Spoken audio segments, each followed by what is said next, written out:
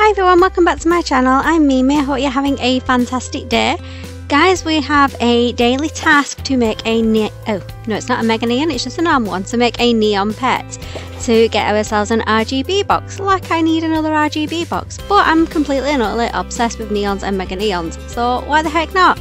I am working my way through the new Southeast Asia pets, so our first neon is going to be the Maleo bird. Now I've got four of these already grown up to full grown, so let's go ahead and make it neon.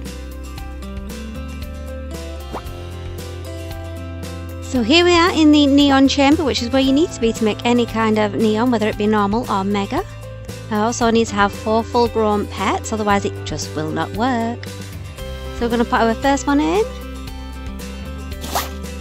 Bird number two. Number three. And our last one, number four. And here it comes! Oh, it's green! I don't remember whether I've actually checked out the neon colours of the Southeast Asia pets. I feel like I will have done at some point in one of the videos but let's just take a closer look at him. He's giving me Halloweeny kind of vibes.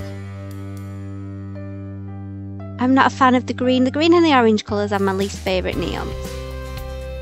But now we've done that, let's just claim our RGB box.